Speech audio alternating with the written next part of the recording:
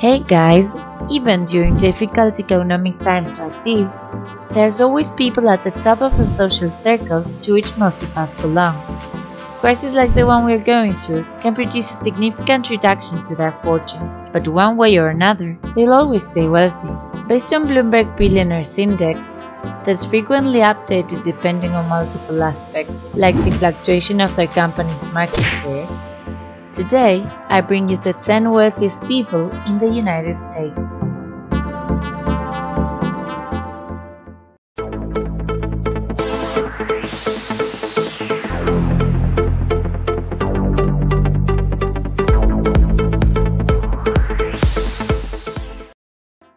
Number 10.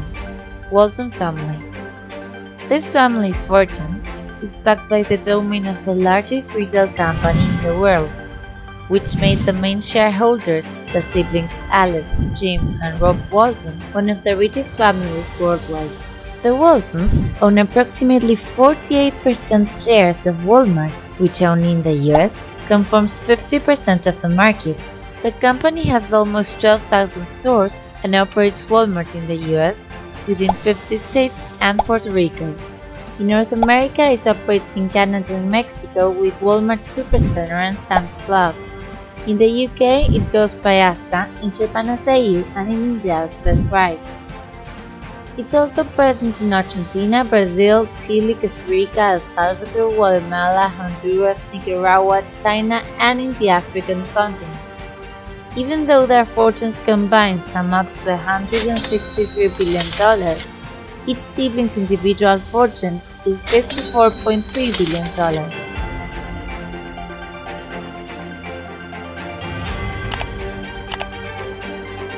Nine. Michael Bloomberg Michael is an American businessman, politician, philanthropist, and author.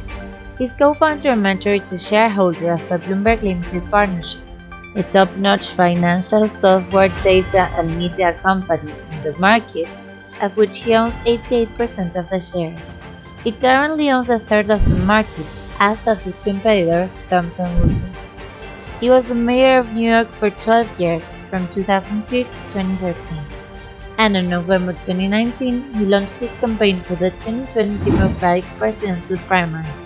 He self-funded $935 million in the primary campaign, setting the record for the most expensive US presidential primary campaign. Nevertheless, he had no success. He classifies as number 9 with a fortune of $60.1 billion. Number 8. Lawrence Joseph Ellison Mostly known as Larry Ellison, is the founder and main shareholder of Oracle Corporation, which he co-founded in 1977 to take advantage of increasing demand for business management databases and directed until 2014. This company specializes mainly in developing and selling database software and technology, cloud engineered systems, and enterprise software products.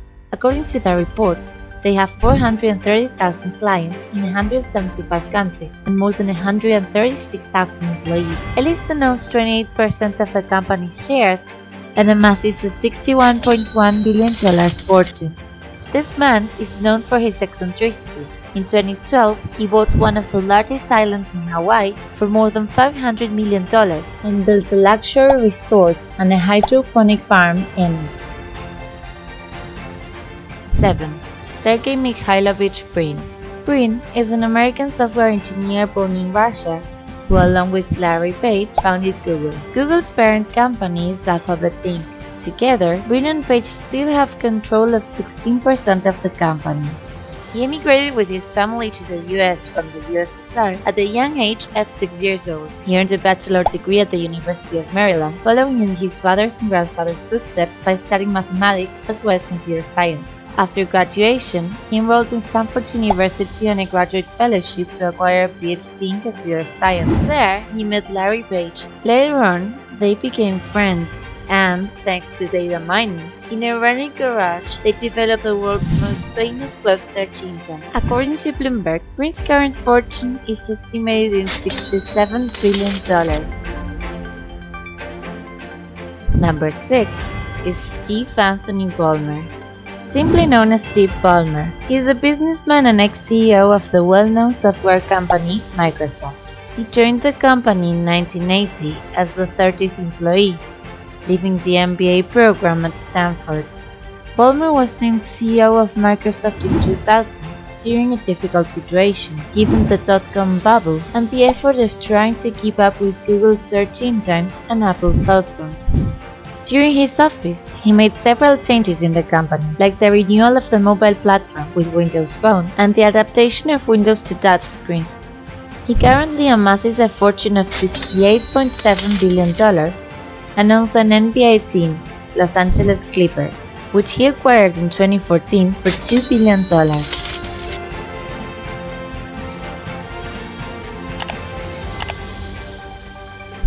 Number 5. Lawrence Edward Page. Larry Page is an American software engineer and entrepreneur, co-founder of Google together with Sergey Brin, and was CEO of Alphabet Incorporated, Google's parent company, until December 2019. Alphabet, which is the parent of all Google companies, offers other products and services besides the search engine, like the email service Gmail, the map services Google Maps and Google Earth, the video platform YouTube, the browser Google Chrome, the private security firm Google Capital, among others. It also leads in the development of the operating system Android, oriented to smartphones, tablets, TVs, and cars and it has investments in biotechnology, health, telecommunications, and home automation. Lawrence's current fortune is estimated in $69.2 billion according to Bloomberg. Number 4 is Omaha's Oracle, Warren Edward Buffett. Buffett is an investor and philanthropist known as the president and CEO of Berkshire Hathaway and one of the most successful investors in the world. He is known for his adherence to value investment and his simple lifestyle in spite of his vast wealthiness. His annual income is estimated in $130,000, which is considerably low compared with other senior executives from big companies. He still lives in the same house that he bought in Omaha in 1958 for $31.5 Despite being known as an oracle, someone that guesses the future of the markets, his investment fund has been one of the most affected by the 2020 post-pandemic crisis, with a net loss of more than $45 billion. At 89 years old, he amasses a fortune of $77.3 billion according to Bloomberg. Number 3. Mark Elliott Zuckerberg Mark is known for being co-founder and CEO of Facebook. He started programming at 12 years old and at 19 was studying at Harvard University he co-founded Facebook with his roommates. In 2007, at 23 years old, he became the youngest self-made billionaire in the world. Later on, in 2012, Facebook acquired Instagram for a billion dollars, and in February 2014, it bought the mobile messaging service WhatsApp for $16 billion. At the moment, one could say he owns three of the most important and influential social media in the world.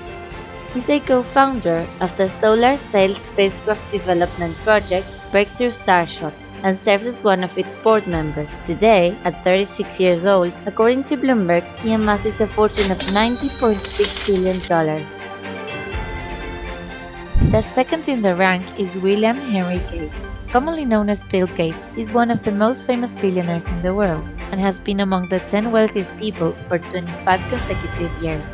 He's known for being Microsoft's co-founder together with Paul Allen. In the present and for a couple of years now, he's kept a very small amount of shares of the company, 1.3%. And in March 2020, he announced his definite exit from the executive board to dedicate his efforts in philanthropic endeavors with his wife through their foundation Bill and Melinda Gates.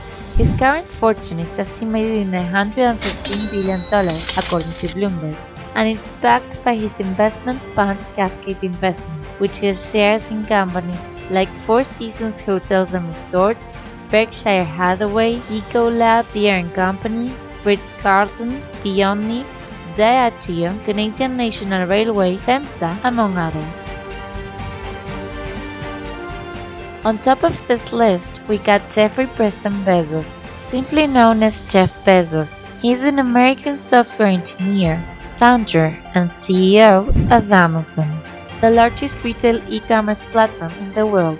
of which he owns 11.1% shares according to Forbes. He also owns multiple companies, like Twitch, The Washington Post, Whole Foods, and Blue Origin, an aerospace manufacturer that's developing rockets for commercial use.